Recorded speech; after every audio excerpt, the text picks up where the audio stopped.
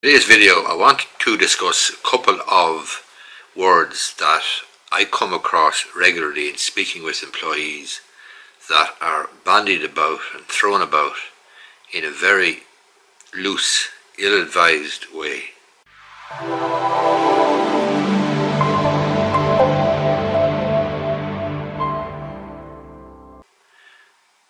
Those words are bullying and harassment. I'm often told by various employees that they are suffering from bullying or harassment or both in the workplace.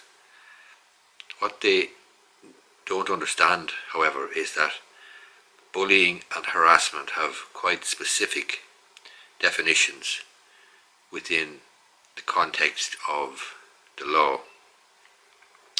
And the ordinary meaning that you might attribute to a word like bullying or a word like harassing doesn't necessarily apply to behaviour in the workplace, which must, in order to support some sort of a claim, some sort of a legal action, must fall within the legal definition of bullying or harassment.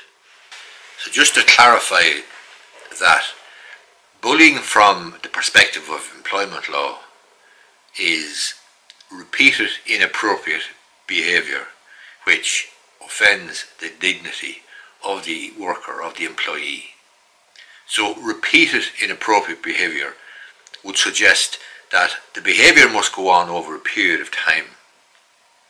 There's no specific period of time specified in the law or alongside that definition. However, it has been held in one or two high court cases, or certainly civil court cases, that you're looking at probably a period of perhaps three months or six months.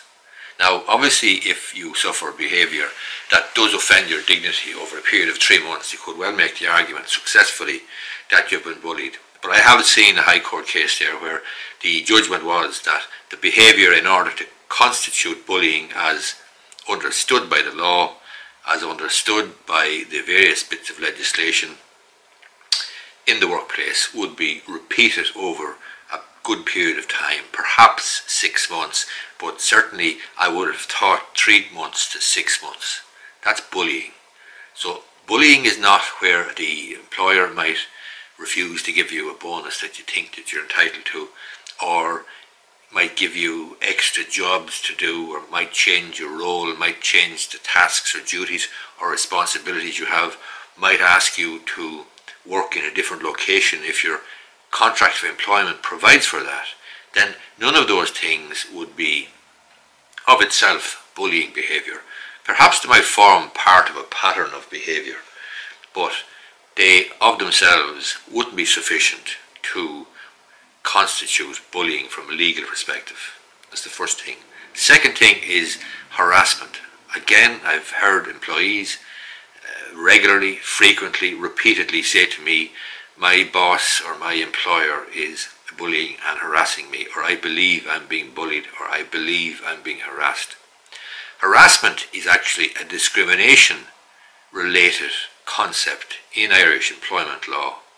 And in order to bring a claim about harassment. It must be, according to the Employment Equality Acts 1998 to 2015, the harassment must arise on one of the nine discriminatory grounds. So that would be gender, civil status, family status, sexual orientation, age, disability, membership of the travelling community, and so forth. But the harassment, the behaviour about which you complain, the behaviour which you describe as harassing behaviour or harassment must be on one of the nine discrimination grounds. And that's a key distinction because if you cannot ground your complaint in one of the discrimination grounds, then you're not going to succeed with a harassment claim under the Employment Equality Act 1998. Sexual harassment then is a different ballgame again, but it is a discrimination based claim under the Employment Equality Act 1998. The key point I'm making to you is this. I'm being bullied and harassed in work. I'm being bullied and harassed by my employer. I'm being bullied and harassed by my supervisor or manager. These words are words that can be thrown around easily.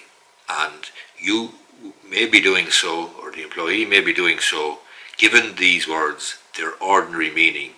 But what I'm saying is that when it comes to an employment related claim to the WRC, or perhaps suing for a breach of contract, or perhaps commencing legal proceedings in courts, then the concept of bullying and the concept of harassment are very different to the ordinary meaning, to the ordinary understanding. I hope you uh, take this into account and you do get legal advice before you commence any complaint or action to the WRC. Certainly, there's no difficulty raising any grievance internally alleging bullying or harassment, but when it comes to making a complaint to the WRC or anywhere else for that matter, then the, these words have particular specific uh, meanings and definitions. Hope you find this video useful. If you do, give it a thumbs up down below and you may be interested in subscribing to my YouTube channel on which I, every Saturday morning, repeatedly and with consistency, show up with a video that attempts to explain in plain language some aspect of Irish law or Irish business. Thanks for watching.